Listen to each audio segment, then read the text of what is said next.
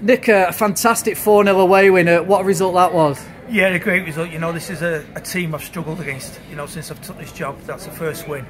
Uh, I said to the boys, it's a real, real difficult place to come. Uh, obviously, they've had the change in management and, you know, it was an opportunity I thought today, you know, to get at them. They've had, you know, they've been at Macclesfield. They've had some tough games, Macclesfield, Radcliffe and us. And it was just one of them today, you know, after last week's performance, I wanted to continue the momentum and away form. And I thought, you know, I, I said before, I've said a couple of times on here about the, the front four, you know, missing chances, taking too many opportunities. It was absolutely clinical today, you know. Two in the first half and bang, it's 2 0, and then two in the second half early on. And it made it a comfortable result. Is that what makes it most satisfying about today? You said good record here, teams struggle here again. Only two teams had won in the league here, so to come here and be dominant must really please you. It is, you know, you know, it's a tough pitch. It's a, it really is a tough way to come. They've got a mentality, you know, they work hard together. You know, they run run through brick walls. You know, I've said when we played these in previous occasions, we've lost the game in the first 10 minutes, you know, because of the way they've come at us. Uh, we've come out quick today, you know, and we've dominated the game. And it's pleasing because, like you just said, not many teams come in and win games. And I think it helps that we've got a settled side as well at the minute. It helps that we've got a settled side. It's, it helps that we've got a great bench. Yeah. You know, I said to the boys before, and obviously Anton's pulled out, and we've got the opportunity now to pull on a kid like Ao. You know, and you look, you know, you can make changes. And I've said to the boys, I've said to the board, it's now my team, my squad, you know, and it's really pleasing the strength and depth we've got.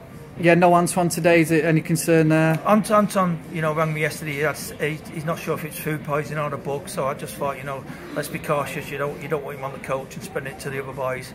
Uh, so hopefully he's at home resting. He'll be ready for next week.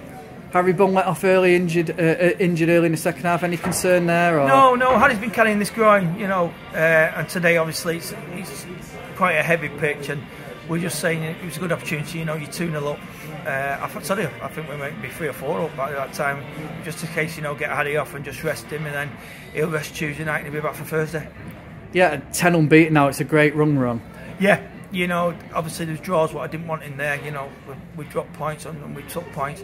But yeah, to go ten games unbeaten in this league is some going. It's you know, and we said we've got to be.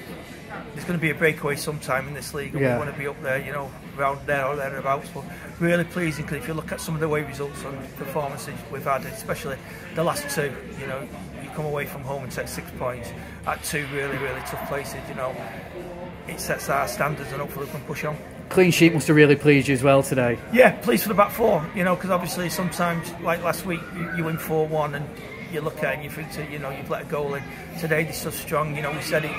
It was a, a game today where you don't want to mess about. You know, the pitch is bobbly.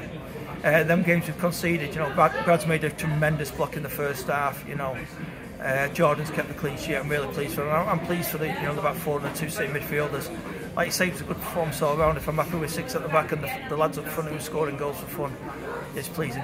And uh, really, we're up into third now, so is it looking looking good at the minute? Yeah, looking. You know, like we said, you know, we keep on going out. I spoke to the boys about splitting the league into four sectors. The first sector was disappointing. The second sector, you know, we would do really, really well. This third sector, I thought, repeats the games we had in the first sector, and we've, we've you know, improved our points tally. You know, if we can push on now and repeat the, in the fourth set to what we did in the second, you know, we're looking forward to it. But like you said, you can't take anything for granted in this league. You know, teams three or four wins and they're back up in the playoffs. We've seen it last year. It was up there all this year. And we get that sticky spell at the wrong time, and hopefully we can just keep nicking the points and nicking the wins. Yeah, on to Bradford Park Avenue next week at home. They're obviously down there fighting for everything. They are, but if you look at their results, you know, obviously they're on a bad run, but they're scoring early, you know. So they are going to be a threat. Last week it was the last five minutes. I think they've been beaten today. They give FC a run for the money today. You know, they they're fighting for their lives like anyone in this league.